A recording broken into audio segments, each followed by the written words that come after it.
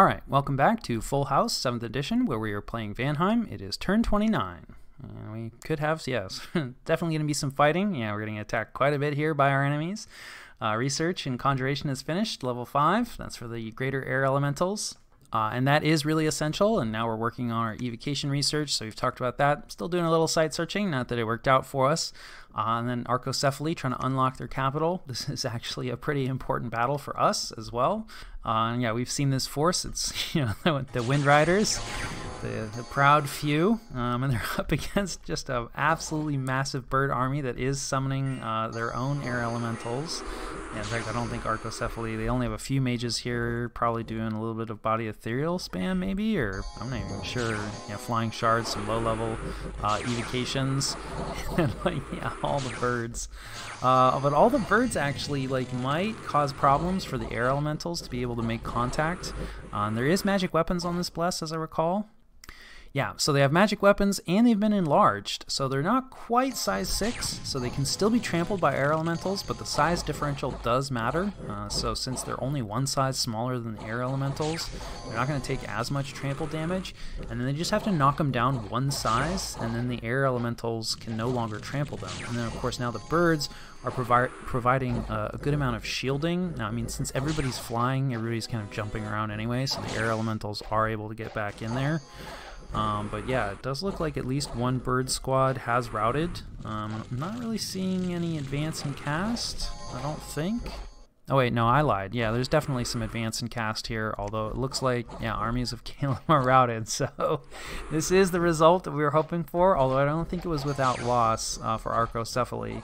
And I mean, this is you know, Ar- Arco can't keep this up, definitely. You know, because their their capital keeps getting locked down. Uh, yeah, they only lose seven Wind Riders, uh, but still, you know, that's like at least a turn of recruitment. And you know, Caelum loses a bunch of birds, but it's just the Spirehorn Warriors, and they're large enough and they have enough forts. Like this is frustrating, I'm sure, but it's actually other than the fact that it's tying them up right? So they can't say attack me or attack any of their other neighbors. Like that part of it is is pretty nasty. Um, and I mean, like these losses definitely matter, but you know they lose like one of these casters. No, sorry, they're just a leader, so like that's not a big deal. They do lose one seraph, but that's not that expensive of a mage. Like these losses aren't crippling. Uh, but yeah, I mean, there's no way. this is still got to be frustrating for Caelum because uh, I'm sure they'd lo- like to move on uh, to other things. Uh, and then we bounce a scout off of Pangaea because we're curious to see, you know, yeah, there's no patrolling and there hasn't actually been a province defense dump either. So we'll see if, you know, that tips our hand.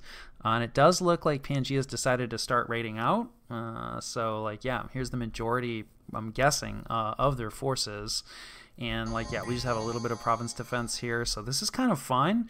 And so we'll see like yeah we have I, honestly I'm I was expecting a lot more uh, white centaur. Maybe there's still some in the capital but yeah we probably should have moved in sooner. Looks like possibly they've focused I mean I did see that there was some minotaur in their capital uh, but this is more than I was expecting and I wonder if possibly I guess they I can't imagine they've been recruiting less than maximum uh, White Centaur. Maybe their Dominion strength isn't that high. I hadn't really thought about that. Uh, but anyway, obviously we lose that. They lose a couple harpies. Uh, that's okay. We'll see. We'll see if like maybe they push on our capital. You know, sort of a base trade situation. Uh, you know, rather than coming back to defend their own capital, and that could be a bit problematic for us. I think we'll have enough time to recruit up enough Vanheers uh, that we'll be able to hold at least that Pangaean force. But being able to hold the Pangaean force, uh, and the Kailasan force, that's pretty unlikely. Uh, speaking of Kailasa, this is going to be, no, not all the monkeys. Uh, so just a small raiding group. Is this where our skeletons are? It is. Uh, so we'll see. They don't really have much of a bless. Uh, so, okay, but they have a fellow here that's going to do body ethereal, so that's going to be pretty effective. But yeah, these sacreds actually are not like that scary. Well, they do have awe. Yeah, they're, they're pretty killy, but they have no protection. And skeletons don't care about awe, but they definitely care about uh, body ethereal. So this may still actually work out for us. Yeah, right? Because skeletons don't have morale. So like, while we absolutely got torn up there, you know, the skeletons don't care, whereas like their sacreds do. So while Kailasa is significantly larger than us, and the bull, you know, demands an answer, especially once we get Storm up, right, and those monkey archers become a lot less useful, I actually think that this war could go really well for us. It's just we also need to finish the war with Pangaea and make sure that we don't get jumped by the birds in the meantime. Maybe should just bite the bullet and reach out uh, to Caelum and offer a non-aggression pact at this point, because uh, yeah, they might be kind of worried about getting attacked by other people because that's the other thing. Like you keep failing battles like this, it's not a good look. Um, most of their neighbors, maybe all of their neighbors at the moment, are busy, uh, so you know that's kind of okay for them. And anyway, this one works out for us. Uh, but yeah, we uh, things this this war could work out for us. These wars could things could work in theory maybe uh, speaking of things working this is our full army just going against a little bit of province defense so this should work out just fine we'll probably attrit out oops that's a different battle. Uh, yeah we attrit out some long dead you know as happens. Sieging down Pangaea uh, is going to be a colossal hassle but in a lot of ways we're kind of okay with it just being locked down because the white centaur are really the only thing that are super dangerous to us well, maybe not super dangerous, uh, but the rest of the Pangaea's mundane troops not too worried about, maybe rightly, maybe wrongly. Uh, so we do take that, uh, although we lose uh, another two provinces. So this looked like a thug. Uh, yeah, and this is the the point buffer, I think that was helping out, or she's really kind of a thug in her own right, uh, was helping the pretender out. So it looks like, you know, is confident enough to split. And, you know, I know I said that we were going to send the air elementals to help our army out. Um, yeah, we probably sh still should, because it's it's just you know when when it's split, that's real tempting. But we can't magic phase all of our sword guys, uh, so this is actually a fairly safe move uh, for Kailasa right now. But you know, if we could, if we could fight the Pretender without even the point buffing help, obviously like that would be really helpful. Uh, losing provinces less helpful though, so that's unfortunate. And then I gotta believe that this is the bull. Uh, ah, the bull and the army. Okay, and and there's a point buffer here as well. So yeah, maybe there's there's multiple thugs. That's unfortunate, and a large communion here as well. Uh, probably, yep, Soul Slay. Okay. So that's pretty dangerous for us. Obviously, like, we don't have a ton of units, so, you know, our Van Here's, we don't love Soul Slay. Like, yeah, Kailasa seems like a solid player here, uh, and they're, you know, doing smart things. So we're going to have our work cut out for us, even though, yes, like, in some ways, right, this war could go well for us. Uh, we'd really need to come up with answers for these thugs uh, and answers, you know, for their uh, pretender. And then, you know, we don't actually have an answer for all those uh, archers just yet either. Though I do think the air elementals uh, will help us with that. Uh, this is our fort, yeah, and it's probably going to get breached. Yep, immediately. The monkeys are pretty, uh, pretty strong, and we also, you know, don't really have much in there, so we'll have to evacuate this turn. But that's okay. We kind of need those mages to go do things this turn anyway. Uh, so then we have some unexpected events. Rumors of plague. We lose a little bit of tax. That's all right. Hey, and we buy some gems on the cheap. We do like that. We have a little bit of patrolling somewhere, and I will catch you guys after the cut. All right, this is the situation and what we're doing about it. Uh, most importantly, we are attacking Pangaea this turn, so you know, yeah, I don't know, we'll see. Uh, there's a lot that has gone wrong with this. Uh, in in that vein of things going wrong, uh, because we lost territory, right? Now we have additional provinces, additional enemy provinces to move through uh, the moves that we could have made last turn. So when I, I checked that we could reach Pangaea uh, with our, our air elemental casters last turn, they could reach. Now they cannot reach. so we could delay this another turn, but I mean we're already we're already in trouble, right? Our hand is, is kind of being forced here. I probably should have attacked. You know, we've talked about that. There's not that many white centaurs, right? This is suspiciously low. Uh, so part of me feels that, you know, I'm being baited, right? This is probably like only half the total. Uh, so we'll see. We're just, you know, we're going to rely on our bless and fingers crossed. I, I, I, shouldn't have stopped the chop. I, I didn't stay true to the spirit of the build, and perhaps now we'll we'll pay the price. You know, the other option is, you know, we could take one additional turn, uh, Kailasa will likely storm this turn, and you know it's going to be difficult for us to get back anyway. Uh, but I, I do think that if we don't move immediately, there's a pretty good chance that we'll just have to fight in our capital with whatever we can recruit there, which will be relatively substantial. So, like, it's still, that's probably what we're going to end up doing anyway. Uh, so, it's like maybe we wait for our air elemental casters, but then it's like, okay, where does the army go? We could backtrack, certainly. You know, we could, well, we can't jump on this fort if we want to hit Pangaea later. We could try to take this province, but in some ways, I kind of want this as like a diplomatic shield, right? You see a, a stack of stuff uh, from Kailasa here, and, you know, we would rather it have to spend time marching to the north, uh, which it probably is going to be doing, uh, but rather than being able to mess with us down here. So we'll see. I don't know how closely these guys are working together, so possibly, you know, Kailasa will be like, okay, it's time to also pick up Pangaea's territory, and maybe they'll just attack through, right? This is definitely a paper shield, these empty provinces. Uh, and then the other thing that we can do, since our air elemental casters are not going to be joining us in this pivotal battle, uh, is we can at least raid with them.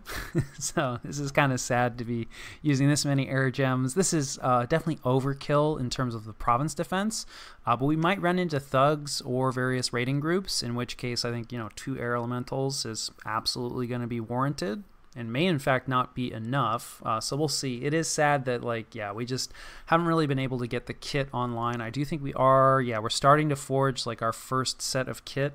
Uh, I will say that like this bless, you know, we've we've talked about the issues with this build, but um, the bless is just not great uh, in terms of actually beating province defense. So you know, our thugs actually need a decent amount of gear help, and with the paths that uh, Vanheim has actually kind of missing like some important uh, province defense clearing kit.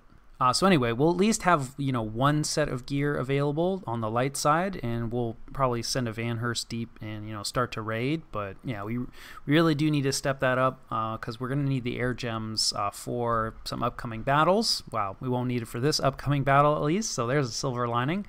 Uh, but we've got two armies that we're going to have to deal with uh, from Kailasa, and air elementals definitely will help us with that. Uh, otherwise, continuing to retreat with our ogres. And sadly, uh, I was thinking about trying to make a stand here uh, with all of, you know, we have our pretender killing, you know, squad here and available, uh, but they're not, they, they would not like to run into this army. And I do think there's a possibility that Kailasa, you know, dodges off of this fort in the hopes of catching, you know, various like counter raiding groups. Uh, so while this is a fairly obvious move here for this thug, and you know they may end up coming up here, and you know I was very tempted, right, to set up all of our thugs to catch that, or like maybe the pretender splits off from the army, right, and takes this province, you know, rejoins with this thug. That would be pretty ideal. On the other hand, like we don't really have the time or the mages. Uh, we do at least have the gems to rebuild all of this. so it's kind of like you know once if we lose it, that's it uh, so, you know, if we try to engage anywhere that's next to their army, where their army could be moving, that's really risky. Uh, so, you know, we're probably going to be giving this province up. I don't know. We'll see. It's also like a really obvious raid for them to make. So I am interested to see what Kailasa does. They do seem like a solid player, right? So they've done a good job of protecting their pretender. So it'll be interesting to see if they push forward with their pretender and then maybe we'll just have to gamble one turn, you know, at some point that they are going to push forward with only their pretender. Or we may just have to wait, right, until things start to get dire and they get close to our capital, and we also have a stack of Vanheres. It's not going to be ideal trying to use our kill squad in an army fight, uh, but we, speaking of that, we are doing some things to try to assist because it is looking more and more like Kalos is going to be cautious enough, right, to not put their pretender in a position where we can easily snipe it. So if we do end up having to fight it in a large army fight, we're going to need enchantment level 2. And we need enchantment level 2 uh, for flight. So this is certainly no guarantee that you know our, our kill squad will be able to make contact, uh, but it's going to be a lot more likely, right, if they can fly around the battlefield. And then we do have to be careful because they won't have uh, storm flying. So if we put up a storm, you know they won't be able to fly in and, and make contact with the pretender so there's a pretty good chance we're not going to have storm by that point anyway which is also kind of why you know i pushed it out because like well we're probably not going to hit evocation 5 anyway so we might as well pick up some other useful research uh, and then alteration 3 is just for mist form. It's going to help a bit with our rating. And like i said we do need to start turning up the rating. Uh, so yeah i threw that in there. This is like maybe a bit questionable because it's not going to help us all that much in large army fights, which I don't know. We're going to need to do raiding and large army fights, so I could go either way on that one. Uh, we are much more likely to hit Alteration 3 uh, before things go down versus Evocation 5. Uh, and we probably will still manage to get Evocation 3. I don't know, we'll see. And we've talked about how Mist is, I'm not sure how useful that one's going to be. Uh, so that's our research. That's our rating for the most part. Uh, we are going to raid with you know Tomb Shadow here. We're just going to throw them at this fort, and this is mostly just because I'm curious. Like, yeah, I actually said everybody to retreat. Excellent. So maybe they'll survive. Probably not. Uh, but I'm just curious to see like you know is Kailasa patrolling their fort? How much province defense you know have they put on it? You know, this is really just more information gathering. Uh, and then we are going to go after these barbarians. I'm a little bit afraid because you know we only have 12 Vanheers, uh, but you know Bless is strong. Vanheers are good, so should be fine. Uh, we do want these earth gems, and you know, I don't know, like Caelum is busy for now, but you know, there's a good chance they won't be busy in the not too distant future. So if we leave a bunch of independence on our borders, we do still have this throne sitting here on the border in our cap circle, but that's a little more forgivable. So I don't know, we'll see. Uh, luckily, nobody important can see our dog province that we have not cleared in many, many turns. which, yeah, it, that's our shared shame. I just, you know, I don't know. I haven't found the time. I was tempted to send the ogres, right? Because we're moving the ogres back, and the ogres could, you know, kill these dogs without too much trouble. But this mountain pass is actually open, right? So this thug could move in and raid this, and I just don't think this province is just really worthless. I think it was given like something like 20 or 30 gold. Haven't found any sites there yet. We haven't done much site searching here yet, but this is also not really a place that we can be site searching right now. So, I mean, while it is a bit embarrassing that these dogs have just been sitting on one of our provinces for, I don't even know, 10, 10 turns now, something like that, it, it's also like not really a province we can take advantage of at the moment. Uh, so recruitment wise, you know, we're mostly, uh, let's see, yeah, we're recruiting Vanheers, uh, a Van Jarl in the capital. You know, it's always sad not to get uh, the cap only recruitment, but we probably have enough dwarves by now. Really, if anything, maybe too many dwarves, and you know, it's a that's a that's because things aren't going well. Otherwise, we would have switched uh, into more Vanadrots sooner, uh, but they just they cost too much, and we we can't really utilize them yet either. I mean, they are excellent air elemental summoners, so in that sense, they're nice. Uh, but you know, in terms of the amount, if if that's all that we're having them do, that's not that much more useful than Van Jarls. Uh, so we really, you know, things like Wrathful Skies and Storm, you know, big air castings, which we just don't have the research for yet. So they're not super useful to us above and beyond Van Jarls, and we can't really afford them. We're getting a Vanhurst here because that's what we can afford, and like one Elven troop because that's what we can afford. We'll probably actually switch over to the Serf Warriors again uh, because in a similar way that we just need mines, right? So we need soul slay targets because there is a soul slay communion here, and you know we don't want our Vanheers to be eating those soul slays. We would prefer just the human serfs uh, to eat those. So we will need to build up some serfs uh, for the army fight. Uh, and then speaking of our kill squad, I didn't actually. They are they're just sneaking into this province uh, for the moment. So you know we're gonna keep them around, and like I said, anywhere that we think that a thug is gonna go, that the army can't make it there, that's where we're going to try to ambush like the thugs and or pretenders. So for the moment, we're just going to sneak and you know be in the area and bide our time and hopefully an opportunity will present itself. Uh, not too much news in terms of the wider world. Yeah, we really don't have a ton of scouting. Uh, we we did talk with TNN. TNN unfortunately has a non-aggression pact with Kailasa, uh, so you know they weren't super interested, but they were open to the idea, right? They said, hey, you know, if you have some good news, shoot it over. Like things could change. Uh, so it's not impossible, uh, but I probably should reach out uh, to, I think we saw Marverni here as well, who was just eliminated. So we should, probably should actually move the scout back over and, you know, see whose flag has popped up there in the meantime, uh, because whoever just killed Marverni probably is unoccupied at the moment. And this is a very small border, unfortunately, for them to be attacking Kailasa, right? A lot of Kailasa's largest, I mean, TNN really is their largest neighbor. Maybe uh, Tianqi is their other largest neighbor, uh, or maybe, you know, Pangaea if they'd taken this throne. Obviously, Pangaea is not looking, well, they're certainly not going to be an ally to us. Uh, so anyway, yeah, there's just there's not actually a ton of people uh, who you know have the borders uh, and you know the availability to be attacking Kailasa. So at least for the moment, I think we're kind of in this war on our own hopefully our other agreements hold and you know we don't have other people jumping in on us. And i think that more or less covers turn 29